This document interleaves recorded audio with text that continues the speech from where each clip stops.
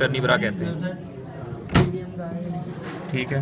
उसके बाद जो पहला स्टर्निवरा है इसको मेनूब्रियम कहते हैं। और जो लास्ट है इसको कहते हैं जीफॉइड प्रोसेस और इसके ऊपर जीफॉइड कार्टिलेज लगा होता है। ये इसके कॉस्टल कार्टिलेज है। और कॉस्टल कार्टिलेज जो नोच बना रहे हैं ना इसको कहते हैं इंटरस्टर्निवरल नोच इंटरस्टर्निवरल नोच कहेंगे। और दरमियान में जो कार्टिलेज होता है इसको कहते हैं इंटरस्टर्निवरल कार्टिलेज ठीक है? और मेनूरियम की ये जो कार्टिलेज है सामने इसको कहते हैं क्रेनिफॉर्म कार्टिलेज और ये जो क्रस्ट है वेंट्रल साइड पे, इसको कहेंगे स्टर्नल क्रस्ट अब डिफरेंसेस देखे जाएँ तो जो हॉर्स है, उस पर ये क्रेनिफॉर्म कार्टिलेज होता है ऑक्स पे क्रेनिफॉर्म कार्टिलेज नहीं होता. और जो देखें, ये हॉर्स का मनूब्रियम बिल्कुल सही है फ्लैट और कंप्रेस नहीं है. और जो ये ऑक्स का जो है मनूब्रियम ये डॉर्सो वेंट्रली कंप्रेस्ड है. ठीक और ये यूनिफॉर्म कार्टिलेज नहीं होता, ये जो है वेंट्रल साइड इसकी हॉर्स की कन्वेक्स है और जो ऑक्स की वेंट्रल साइड ये कनकेव है। ठीक है?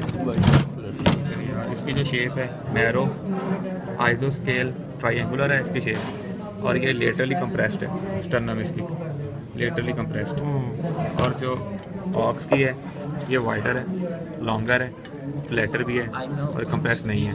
लेटरली ठीक है जी। और ये कोस्टल आर्स है। हॉर्स में भी एट होंगे स्टर्निब्रा और डॉग में भी एट होंगे। ऑक्स में भी एट होंगे। ऑक्स में सात सात स्टर्निब्रा होंगे। और डॉग में आठ स्टर्निब्रा होंगे। हॉर्स और ऑक्स में सात सात स्टर्निब्रा होंगे। डॉग में आठ स्टर्निब्रा होंगे। और डॉग का जो ये मनोब्रियम है ये वेज लाइक होता है। ये डॉग का स्केल्टन है।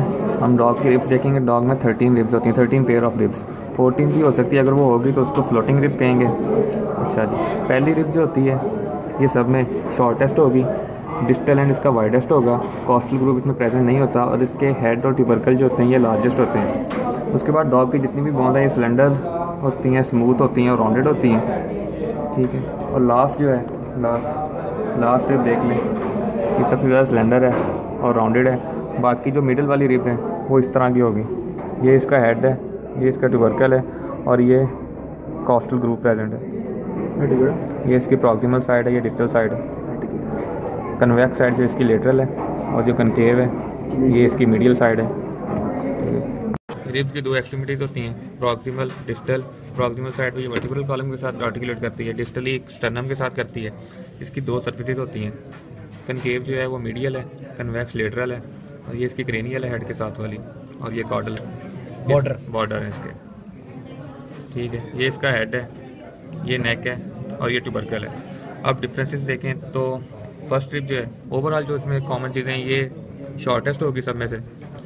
डिस्टली ये होगी वाइटेस्ट कॉस्टल ग्रुप इससे प्रेजेंट नहीं होगा। और इसके जो हेड और ट्यूबरकल हैं ये लॉन्गेस्ट होंगे। अब ऑक्समरस में डिफरेंस देखें तो जी इसका जो हेड है हॉर्स का। ये एक रिज की मदद से डिवाइड हो रहा है। ये रिज जबकि जो ऑक्स का हेड है, ये राउंडेड और स्मूथ है बिल्कुल। इसका जो ट्यूबरकल है हॉर्स का, ये कन्वेक्स है। और ऑक्स का जो ट्यूबरकल है, ये कनकेव है। ओवरऑल भी देखी जाए तो ऑक्स की जो बोन होती है, वो लार्जर होती है हॉर्स से थोड़ी। बहुत और हॉर्स की जो फ़र्स्ट रिब्स हैं, ये डिस्प्ले एक दूसरे के साथ आर्टिकुलेट करती हैं। डिस्टल एंड के और ये स्टर्नम के साथ भी आर्टिकुलेट करते हैं। और जो ऑक्स की हैं, ये डिस्टली एक दूसरे के साथ आर्टिकुलेट नहीं कर सकते। हेड के दो पार्ट होते हैं हॉर्स के बोन के हॉर्स की फ़र्स्ट रिब के। स्मॉलेस्ट होता है स्मॉलेस्ट जो होता है क्रेनियल होता है, और लार्जर जो है, ये कॉडल है। सिक्सटीन तक जो रिब्स हैं, ये तकरीबन सेम होती हैं साइज़ भी इंक्रीज़ होता है from seven to sixteen up to seven seven eight nine जो होती हैं लॉन्गेस्ट होती हैं वाइडेस्ट होती हैं, और इनके दरमियान जो इंटरकॉस्टल स्पेस होती है, वो कम होती है। ठीक है? और लास्ट पार्ट्स की जो रिप्स होती हैं, उनमें इंटरकॉस्टल स्पेस ज़्यादा हो जाती है और वो नैरो हो जाती हैं रिप्स जो होती हैं हॉर्स की स्मूथ होती हैं। रिब्स स्मूथ होती हैं। रिप स्मूथ हैं और एक सिंगल कर्व में डिस्टल लेंथ तक जाती है। ये। और ये इसका कॉस्टल ग्रोव है। ये कॉस्टल ग्रोव ट्यूबरकल वाली साइड पे। और लास्ट जो रिब होगी, उसके हेड और ट्यूबरकल फ्यूज होगा। ठीक है? ऑक्स की जो होती है rib second to leg second to eleven ये सेम होती हैं। ये एक सिंगल कर्व नहीं होती।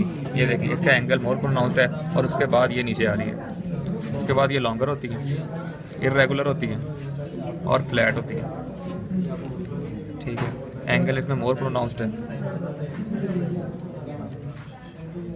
और ये इसका कोस्टल ग्रूव है। ये इसका टुबर्कल जो है, ये कनकेव होता है और लास्ट वाली में ये फ्लैट हो जाता है। इस तरह। का ठीक है, ये इसका हेड है। और थर्टीन में जाके हेड और ट्यूबरकल दोनों फ्यूज़ हो जाएँगे। थर्टीन जो होती है, इसका जो कर्वेचर होता है, वो कर्व्ड होता है।